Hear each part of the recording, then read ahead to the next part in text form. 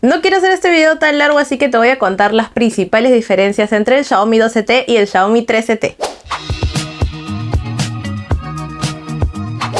Ya llevo más de un año utilizando el Xiaomi 12T como teléfono personal y ha llegado el momento de dar el salto al 13T, así que en este video te voy a contar algunas diferencias importantes en base a mis pruebas y el uso que le estoy dando diario al 13T. El Xiaomi 12T tiene diseño mate que para mí se siente un poco más premium a diferencia del 13T. Ambos están disponibles en colores distintos y solo el 13T tiene una opción de cuero vegano. El lector de huella está en la pantalla en ambos casos, los dos tienen doble altavoz, doble micrófono y ninguno tiene entrada jack para conectar audífonos. Ambos tienen acceso a doble SIM, pero solo el 13T tiene la opción de una eSIM.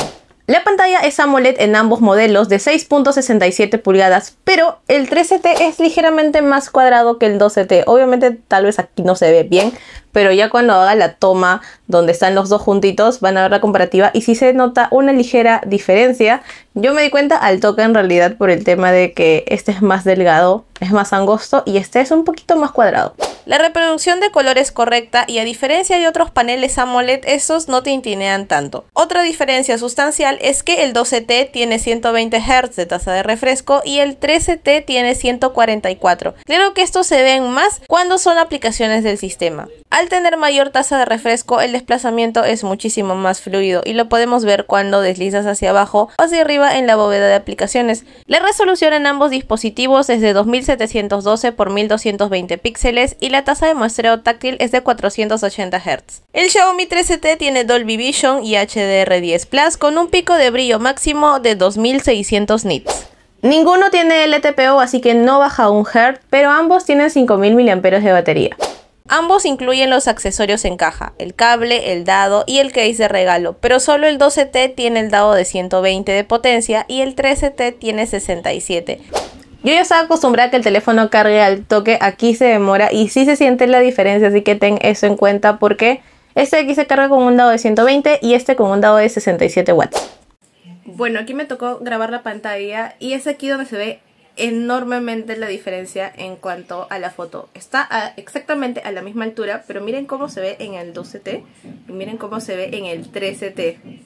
Mi vecino se le ocurrió golpear. Bueno, eh, ambos grabaciones de pantalla sí, pero con micrófonos de los teléfonos. Así que miren la diferencia, es que realmente es increíble. Con el 13T es como si estuviera, no sé, eh, a una especie de medio metro de distancia adicional. Y acá estoy, pero súper cerca. Bueno, esa es la diferencia entre uno y otro. Y era lo que tanto les he dicho. Además de obviamente los colores como ya les comenté. Pero básicamente el tema de la distancia es impresionante. Me sirve mucho cuando tengo que grabar contenido, además que las fotos salen mucho más nítidas y claras. Ambos tienen modo belleza y filtros si es que los necesitas o utilizas. La calidad de grabación del Xiaomi 13T es a 1080 30 fps. Si bien la versión que llegó a Perú no incluye Leica, me están diciendo que el Xiaomi 13T Pro sí incluye, así que vamos a ver qué onda cuando llegue de manera oficial, porque si bien lo han traído distribuidores, todavía Xiaomi Perú no lo trae a la venta.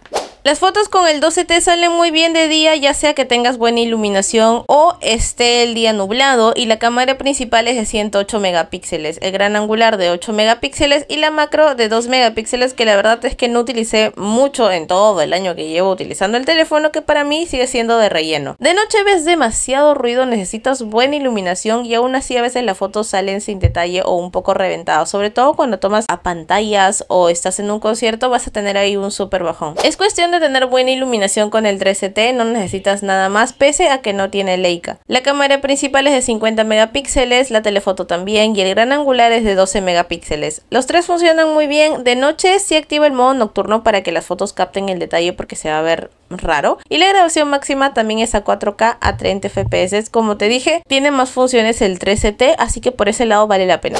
El hecho que un teléfono tenga 200 megapíxeles no significa que sea el mejor para fotografías o en general, así que no importa la cantidad sino la calidad. El Xiaomi 12T tiene el procesador Dimensity 8100 Ultra y el 13T el 8200 Ultra.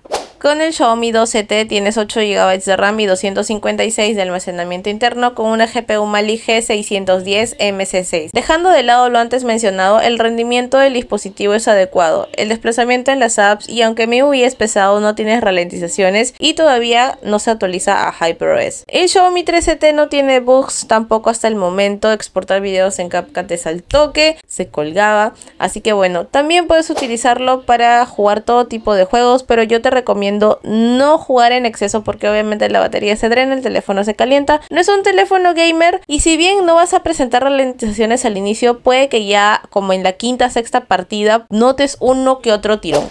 Llegamos a la parte de los precios. Me he demorado en buscar el precio de este porque la disponibilidad está pues, bien, bien bajita después de un año de lanzamiento. El precio es de 1799 soles dependiendo de dónde lo compres y el Xiaomi 13T lo he visto a 1999 soles y encima te dan audífonos de regalo, así que en cuanto a precio pues conviene este porque es el más reciente. Ya viene con la actualización de HyperOS muy pronto. Aquí se va a demorar un poquito, pero pues casi nada tampoco, pero de todas maneras se va a demorar. Así que en cuanto a precio, este conviene. De, de, todas maneras. Igual las diferencias son no son muchas, pues ya tendrías que evaluar tú si te conviene o no. A mí me gusta mucho que cargue rápido. Eh, mi teléfono está bien, solamente que se cayó y se quiñó. Pero en cuanto al tema de funcionamiento está súper bien. Funciona la cámara, funciona el teléfono como tal. No tengo problemas de red ni nada.